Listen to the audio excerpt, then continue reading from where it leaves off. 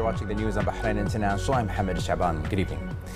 His Majesty King Hamad bin Isa Al Khalifa returned to Bahrain this evening from the Kingdom of Saudi Arabia after leading Bahrain's delegation to the 32nd Arab Summit in Jeddah held yesterday. At the invitation of the custodian of the two holy mosques, His Majesty King Salman bin Abdulaziz Al Saud. Earlier in the day, His Majesty King Hamad bin Isa Al Khalifa left the King Abdulaziz International Airport in Jeddah.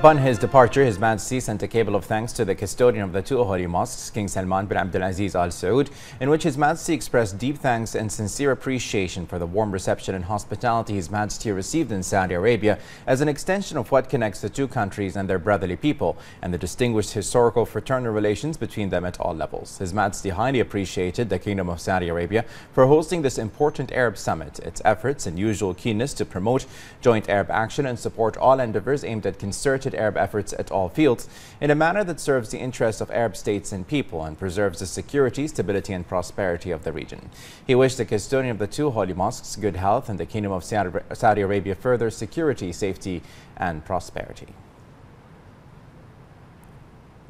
During the speech of His Majesty the King at the 32nd Arab Summit, which convened at the King Abdullah International Conference Center in Jeddah yesterday, His Majesty announced that the Kingdom of Bahrain will host the next Arab Summit in 2024. Bahrain's hosting of the next Arab Summit confirms the royal approach in supporting the march of joint Arab action and that would achieve Arab solidarity and interdependence and strengthen Arab capabilities in facing the current regional and international challenges. The Kingdom of Bahrain's hosting of the upcoming Arab Summit comes as a continuation and affirmation of the approach of His Majesty Majesty the King, and with the backing of His Royal Highness the Crown Prince and Prime Minister, and based on the belief that Arab relations are a matter of fate for Arab states, and that cooperation and interdependence represent a strategic choice to achieve security, stability, and development for the Arab people. The convening of the next Arab Summit in the Kingdom of Bahrain constitutes an important historical event, as it will be the first Arab Summit held in Manama. Therefore, the approval of the Arab League Council at the summit level for the Kingdom of Bahrain to host the 33rd regular session is gaining increasing importance in terms of timing and place.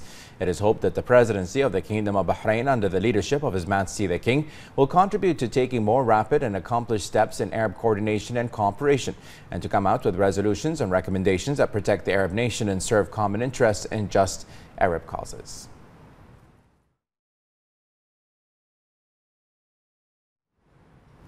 His Majesty King Hamad bin Isa Al Khalifa attended a lunch banquet yesterday hosted by the Saudi Crown Prince and Prime Minister, His Royal Highness Prince Mohammed bin Salman bin Abdulaziz Al Saud, in honor of the Arab leaders, marking their participation in the 32nd Arab Summit. After the banquet, His Majesty King Hamad bid farewell to the Saudi Crown Prince and Prime Minister as well as Arab leaders.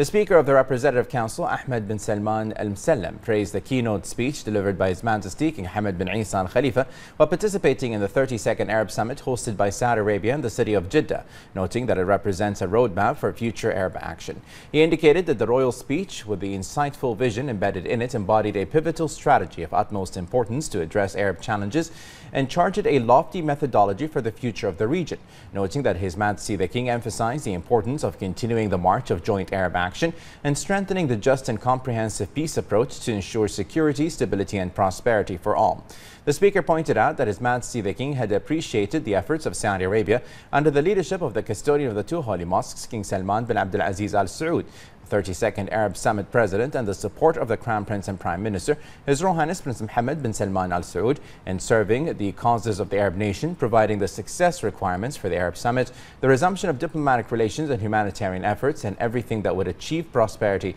for the people and countries of the region. Al Msallam also praised the royal keynote address in which His Majesty the King expressed Bahrain's wise diplomatic policies regarding the situation in Sudan, preserving the legitimate rights of Egypt in the Nile waters, completing the peace process to reach a just solution to the Palestinian issue, as well as achieving peace between Russia and Ukraine. The speaker said that the king's speech constituted a roadmap for the future of the Arab world according to a civilized and humane vision, as it emphasized the ancient history of the Arab nation, religious values, and the promotion of the values of human coexistence, as well as religious and civilizational rapprochement. He also hailed His Majesty King Hamad's wishes for the success of the 2023 UN Climate Change Conference, or Conference of the Parties of the UNFCCC COP28, which will be hosted by the UAE later this year, which is an all-inclusive platform for agreeing about ways to face future challenges. He expressed pride in Bahrain's hosting of the 2024 Arab Summit.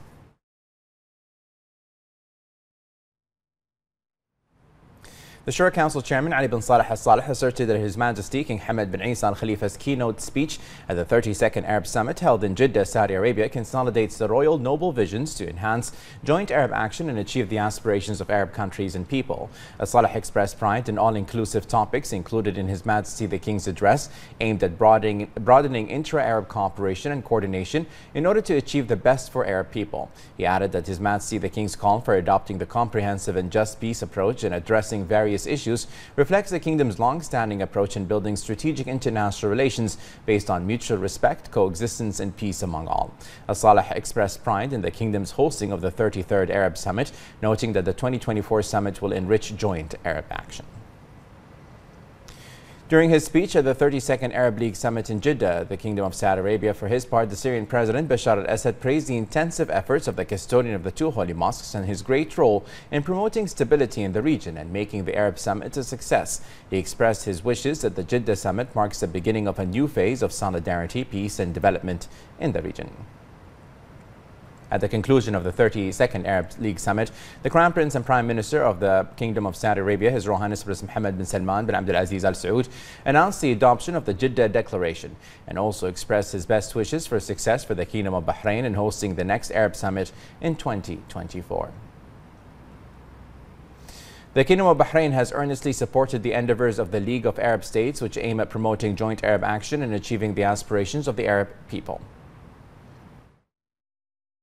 The Kingdom of Bahrain pays great attention to the concerns of the Arab nation and plays a fundamental role in advocating its crucial issues, as well as contributing to developing the mechanisms of joint Arab action through its membership in concerned regional organizations, key among which the League of Arab States. Since its founding, the League of Arab States has placed at the forefront of its goals strengthening ties between Arab countries, preserving the independence of member states, coordinating plans and policies among them, in addition to achieving cooperation in economic, cultural, social, and health affairs, while protecting Arab interests and cooperating with international bodies to ensure that security and peace prevail and in light of its membership in the League of Arab States, as well as its firm belief in its charter and principles, the Kingdom of Bahrain has played a constructive role in the League by heading several ministerial meetings that addressed pressing Arab issues which sought to preserve the interests of the member states and their peoples and in a bid to reinforce collective Arab work, the Kingdom of Bahrain has ratified most of the agreements, treaties, and charters issued by the League and proposed many initiatives to develop and document joint Arab action in an affirmation to its consent to the strenuous efforts of the League of Arab States in advocating the interests of Arab nation as well as its noble goals and constant principles.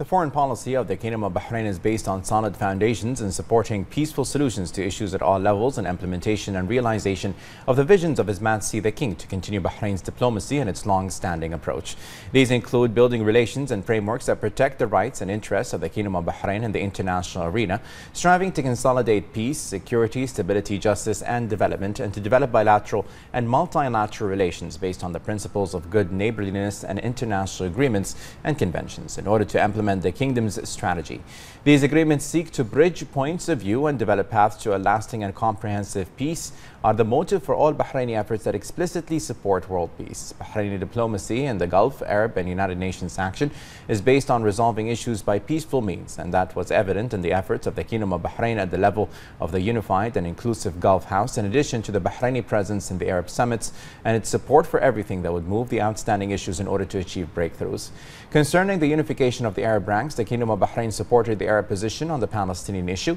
and the right to establish a Palestinian state in addition to the return of Syria to the League of Arab States. Bahrain also supported Egypt and the Arabs regarding the Ethiopian Renaissance Dam, efforts aimed at resolving the Yemeni crisis. A declaration of the Kingdom of Bahrain and the King Hamad Global Center for Peaceful Coexistence, which was established by His Majesty the King, came to achieve a Bahraini vision in rejecting differences and hate speech, and thus Bahrain became a land for different religions and sects who enjoy security and peace in the country.